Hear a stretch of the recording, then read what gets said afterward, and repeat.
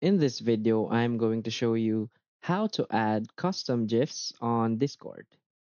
So please watch the video until the end and follow this tutorial step by step to avoid making mistakes. So let's get started. First is we want to download our custom GIFs. So we want to go to Google and just search for a custom GIF. But if in your case you already created one, you can just simply skip this part. So from here, we want to search for Discord uh, custom GIF. And we want to go to images. And as you can see, there's a lot of custom GIFs here. So for example, uh, let's select this. Or as you can see, it's moving, it's a GIF. So we want to save it. So we want to right click on it and save this image.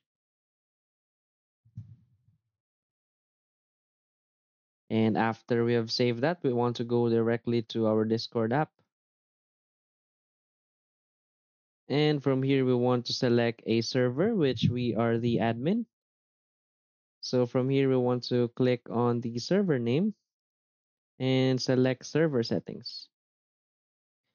And from here, let's just find this emoji section here. So we want to click on it.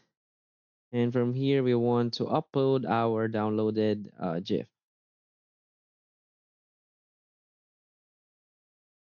So uh, make sure that your file is supported. Uh, the my downloaded GIF is not supported, so let's try another one. Let's try a small one.